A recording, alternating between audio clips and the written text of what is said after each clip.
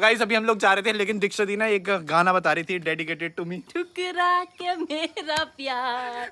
मेरा इंतकाम देखेगी बना दे इस पे भी वीडियो बना दे तू। ओके गाइस म्यूज़िक और सिनेमैटिक ठुकरा के मेरा प्यार मेरा इंतकाम देखेगी। जो कि गाइस जल्दी हम लोग सोच रहे हैं कहाँ की प्लान करें गाइस नेपाल की प्लान करें? नेपाल की कर ले।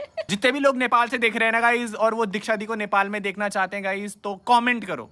उनसे? मुझे बता तो मैं बोलूँ क्या? कुछ भी आज कुछ बोलो ना नेपाल के लोगों को कुछ भी बोलो। अपनी नेपाली कम्युनिटी लोगों के लिए क्या बोलोगे क्या बोलूँ मुझे नहीं पता हट वाले मी हजुरले ढेरे माया गर्छु ये बोलो। अभी हजुल्ला बहुत धेरे माया कर चु हजुल्ला माया कर चु केटा केटी। केटा तो है नहीं दीदी की ज़िंदगी में और मेरी ज़िंदगी में केटी नहीं है।